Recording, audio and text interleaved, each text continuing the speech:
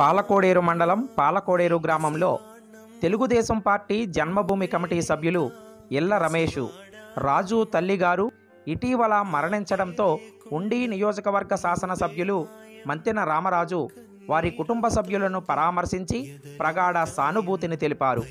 రాజు తల్లిగారిని స్మరించుకుని నివాళులర్పించారు. కార్యక్రమంలో Gadiraju Rambabu Donga Krishna Pentakoti Madhavarao Buddharaju Padmavathi Palakoderu Mahatma Gandhi auto union సభ్యులు పాల్గొన్నారు.